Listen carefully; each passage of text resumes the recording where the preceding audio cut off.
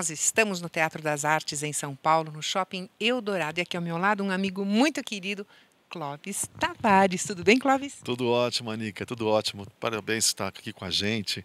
Esse evento aqui ficou mais brilhante com você. Ah, é com muito prazer que eu faço parte. Gente, estão acontecendo palestras, é um ciclo de palestras aí promovidas pelo Clóvis Tavares e que ele sabiamente intitulou Duetos. Eu sou a mestre de cerimônias, eu sempre faço abertura deste, destes, dessas palestras, desses eventos, mas a ideia foi maravilhosa, porque você somou o seu talento, diversos palestrantes com conteúdos diferentes e maravilhosos. É, cada um tem uma história, né, Anica? Cada um tem uma experiência de vida. E essa junção de talentos faz com que o evento fique mais brilhante, fique incrível, as mensagens se completam e a pessoa sai com algo a mais. Mais do que uma palestra, são duas, e quando você junta os conceitos, cria um terceiro, um terceiro meio de informação, que é a fusão das experiências. Isso a pessoa leva para casa e fica refletindo depois em casa, com os amigos, no trabalho, sobre o que ele ouviu e onde ele pode aplicar os conselhos que foram dados. É, é muito é prazeroso para a gente fazer a palestra e também para a plateia que está aqui. Fica é um momento inesquecível, mágico. Né? Todos, todos saímos encantados, tenho certeza disso. E assim, o Clóvis, que já recebeu por cinco vezes o prêmio Top of Mind. Ele realmente ele trabalha o marketing com a mágica, ele, ele, ele, envolve o público. E cada vez que ele faz uma apresentação, ele escolhe um personagem, porque ele desenvolve diversos, uh, diversos personagens exatamente para cada tema abordado. Então fala para mim, quando você trouxe o Oscar Schmidt, quem foi o personagem escolhido? Ah, no Oscar Schmidt, eu trouxe um americano que falava de basquete. Ele era técnico do Celtics, que foi um time muito grande nos Estados Unidos, hoje também é um time muito famoso lá fora. E é legal porque o Oscar ele tinha uma certa rixa com os americanos que ele conta na palestra. Então eu realmente eu, eu foquei isso para provocar ele, provocar a palestra e as pessoas ficaram é, é, estagnadas com a situação, né? Porque o, o Oscar falando que ganhou dos americanos e entra um americano, então cria um conflito, uma polêmica. Aí depois a gente teve o evento do Emerson Fittipaldi, onde eu entrei como alemão que veio da Ferrari. Isso também trouxe para a plateia uma surpresa muito grande, porque você é endossado pelo Emerson Fittipaldi, então não há quem não, não acredite nesse personagem. Qual era o nome dele? Era o Klaus Weiswenzer, que fala um pouquinho português.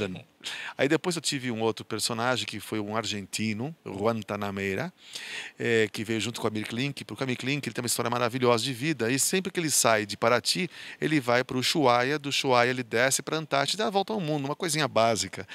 Então, por que, rápido por que não trazer um, um, argentino que ele sempre encontrou nesse trajeto? Né? E hoje nós vamos ter aqui um americano que veio de Harvard, especialista em marketing, que o Carlos Alberto Júlio convidou exclusivamente para esse evento, para fazer o quê? Um complemento dos conceitos que ele vai passar.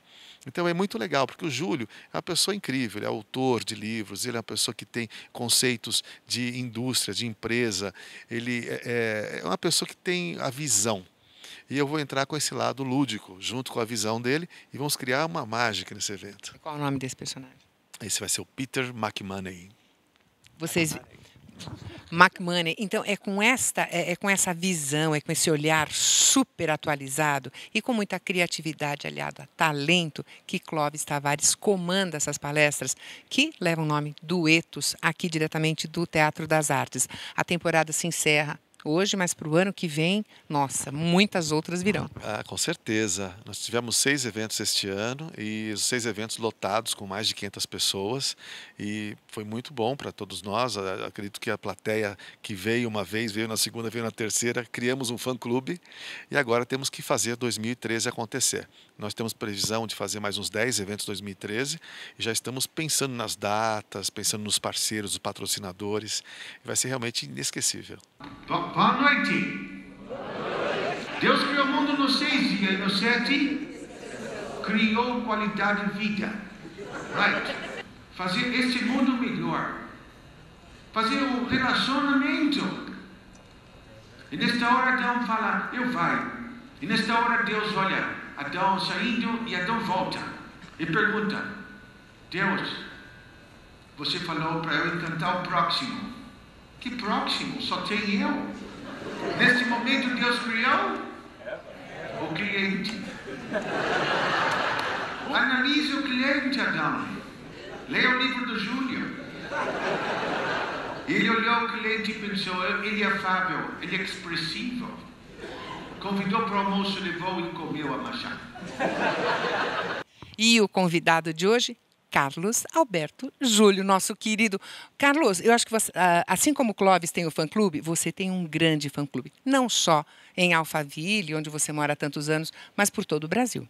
Meu fã-clube não é nem de longe perto do seu fã-clube. Oh, Tá certo? Aliás, eu sou do seu fã-clube. Muito obrigada.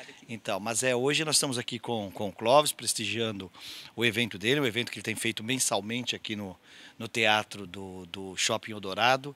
E hoje nós vamos falar de vendas. Então, hoje não tem economia do cedro nem estratégia.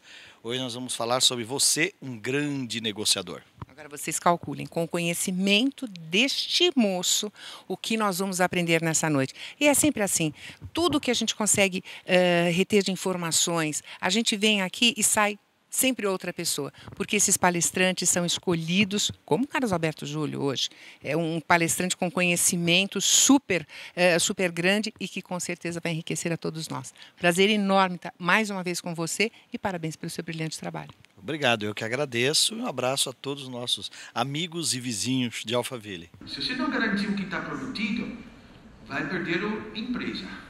Esse é o cliente. Faz assim com a outra mão. O cliente está buscando uma solução. Médios mexe o cliente assim, assim nisso. Você trabalhando. Você bate o pé esquerdo pela qualidade. Em cada tarefa, em cada serviço. Olha para a esquerda e para a direita buscando opções. Balança a cabeça. Pisca o olho e mostra a língua para pessimismo. Né? Mostra a língua.